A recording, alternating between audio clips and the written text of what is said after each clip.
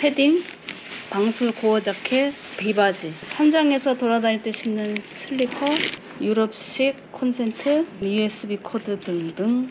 다인실 산장에서 자야 되기 때문에 귀마개. 거의 자외선이 강하다 그래서 챙 넓은 걸로 샀습니다.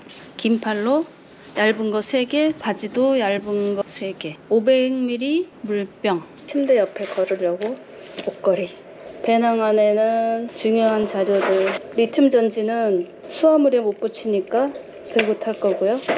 제일 중요한 등산화. 스틱은 수화물에 넣어야 합니다. 컵라면 두 개 애교로 간식, 그다음 비상약 네, 이렇게 챙기고 있어요.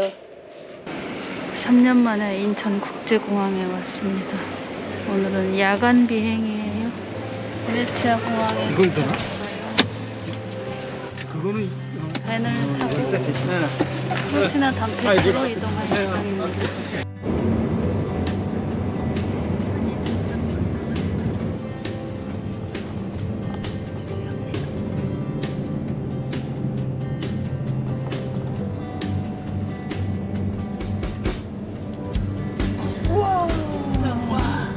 신호기한 이 넓은 편은 이런 다 이어가지고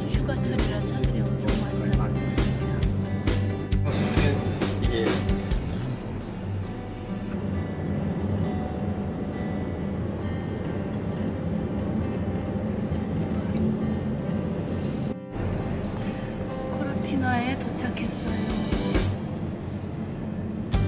오늘은 코르티나 담페초를 살짝 둘러보기로 합니다.